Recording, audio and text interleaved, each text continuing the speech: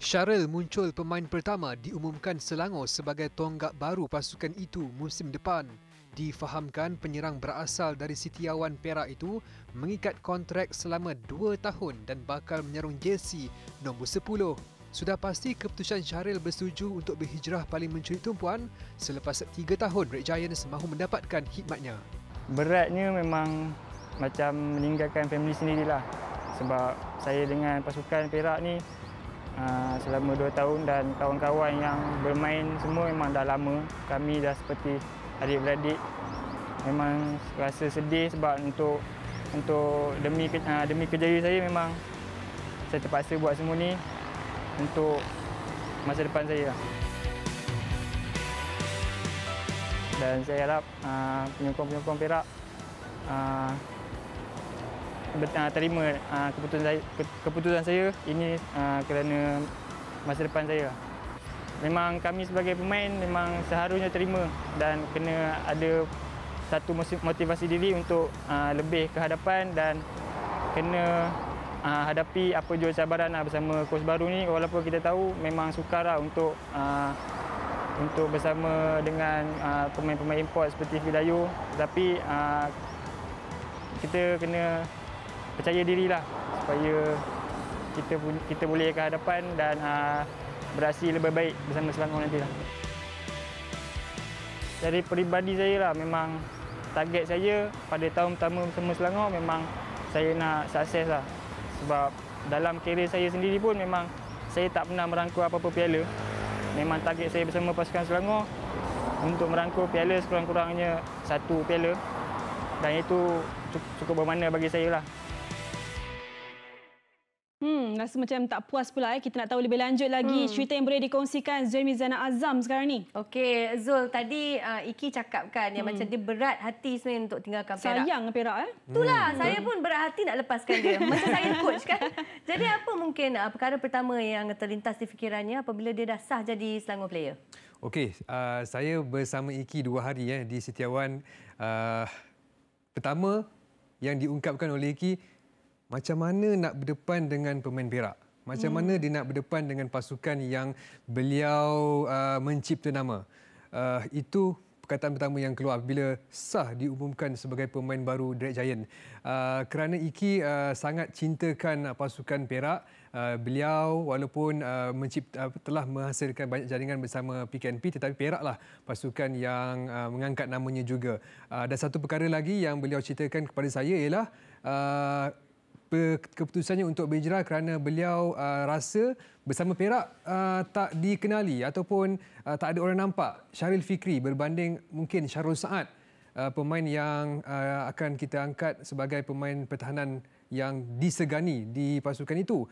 Jadi beliau buat keputusan why not pergi pasukan lain uh, seperti uh, Selangor yang mungkin akan mengenali diri beliau uh, dalam satu uh, Malaysia uh, uh, contohnya kalau pemain-pemain pergi ke JDT, satu Malaysia kenal. Jadi hmm. Iki uh, begitu saya itu antara keputusan untuk beliau pergi ke pasukan baru iaitu Selangor. Okey, saya kalau personally sebagai penyokong Selangor, saya mungkin rasa banggalah bila Iki ada pandangan yang seperti itu.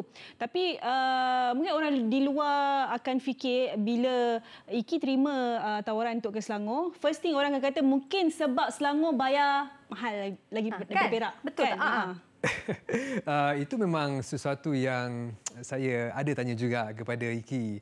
Sebab yalah biasalah kalau pasukan atau pemain pergi ke lain uh, better offer. Uh, tapi saya difahamkan gaji itu tidaklah terlalu tinggi tidaklah uh, ada banyak perbezaan. Tetapi oh. saya difahamkan uh, ada perubahan dari segi bonus. Uh, bonus yang diterima Iki, contohnya kalau dulu pasukan Perak kalau menang bonusnya 4000 tetapi mungkin bersama pasukan Selangor dia naik dalam 3 4000 contoh.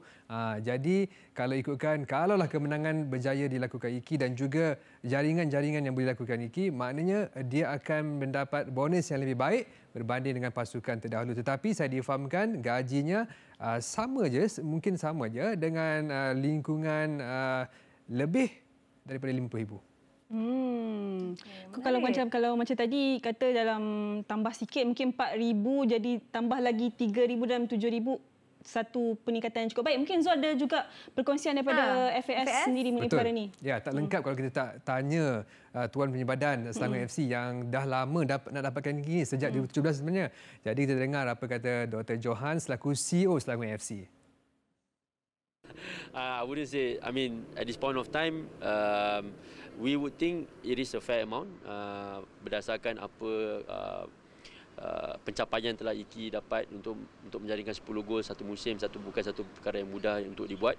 Dan kita ada berapa game je kan? Kita ada 11 game je. Bayangkan kalau kita ada musim penuh berapa banyak gol yang Iki boleh jaringkan. Jadi satu pencapaian yang sangat hebat. Ratio dia one to almost one goal each game. Jadi bukan senang nak dapat and and that's why bagi saya dia bukanlah mahal tapi ia berpatutan uh, dengan uh, nilai ataupun value yang impact yang dia akan bawa kepada pasukan Selangor tahun depan.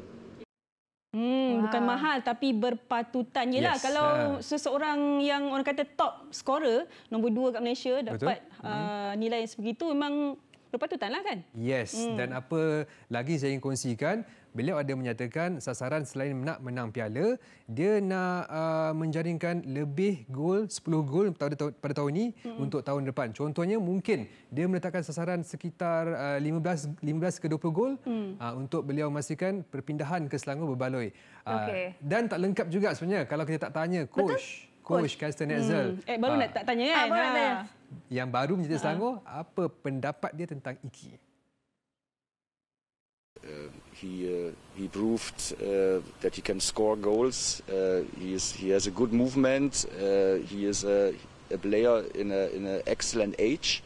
Yeah, he's 26, and and uh, I I think uh, he can improve also his his performance. And uh, yeah, we, we want to support him uh, of his of his way to uh, yeah to to be a, a better player.